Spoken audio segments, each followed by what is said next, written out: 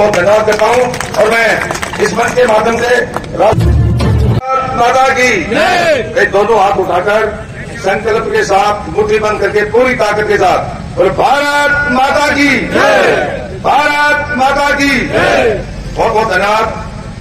आज इस बहुत ही सुंदर कार्यक्रम में हमारा मार्गदर्शन करने पहुँचे। मंच पर उपस्थित केंद्रीय मंत्री और इस पूरे हरियाणा का, कई बार हरियाणा की सरकार में और केंद्र की सरकार में हरियाणा की सेवा करते रहे। ऐसे हमारे बहुत ही लोकप्रिय नेता राव इंद्रजीत सिंह जी, हमारे बिहारी महेंद्रगढ़ के बहुत ही लोकप्रिय सांसद चौधरी धर्मवीर सिंह जी और इस कार्यक्रम की अध्यक्षता कर रहे हमारे बहुत ही ऊर्जावान जिला के अध्यक्ष श्रीमान जयराम जी यादव और इस कार्यक्रम का आयोजन करने वाले और पूर्व में नगर पालिका के चेयरमैन रहे श्रीमान विकास यादव चेयरमैन साहब रामपुरा गाँव के पूर्व में सदस्य रहे। पहुँच गया दादा।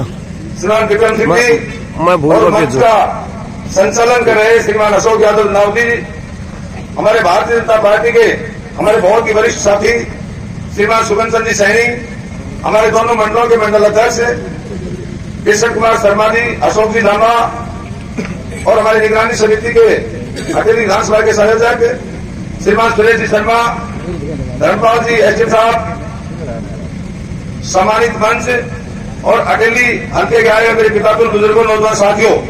सबसे पहले तो मैं आप सब लोगों का, हमारे राव इंद्रजीत सिंह जी और चौधरी धर्मवीर सिंह जी का और हमारा सबका आप लोगों ने पगड़ी पहनाकर जो स्वागत किया, मैं आपका हृदय से आभार व्यक्त करता हूँ और आपका बहुत बहुत धन्यवाद करता हूँ।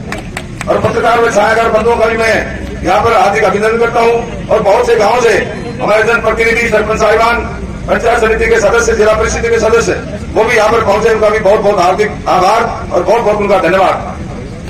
क्षेत्रवासियों, इस क्षेत्र के लिए बहुत बड़ी सौगात हमारे माननीय मंत्री राव इंद्रजीत सिंह जी, चौधरी धर्मवीर सिंह जी के, इनके सबके सहयोग से आने वाले सोलह तारीख को हमारे माननीय प्रधानमंत्री जी एम्स का शिलान्यास करने के लिए मालदा में पहुँच रहे हैं तो मैं आप सभी लोगों से मेरा निवेदन है कि ज़्यादा से ज़्यादा तादाद में पहुंचकर अपने नेताओं के विचार सुने और भारी संख्या में पहुंचकर उनका हार्दिक अभिनंदन और स्वागत करें। मेरा तो आपके बीच में यही कहना था। अब हमें हमारे लोक, लोकसभा के हमारे बहुत ही लोकप्रिय सांसद और राविंदर सिंह सिक्की हमें जैसी भी दिशा निर्देश देंगे हम उन पर पूरा खरा उतरेंगे मैं अपनी तरफ़ से आप सभी लोगों से मैं कहना चाहूँगा कि जिस भी ग्राम में जो कोई भी साधन चाहिए वो मुझे संपर्क करके मुझे बताते हैं। अगर एक गाँव में पाँच बस भी चाहेंगी तो हम वो बस हम भेजने का काम करेंगे और लोगों को वहाँ ले जाने का आप काम करें।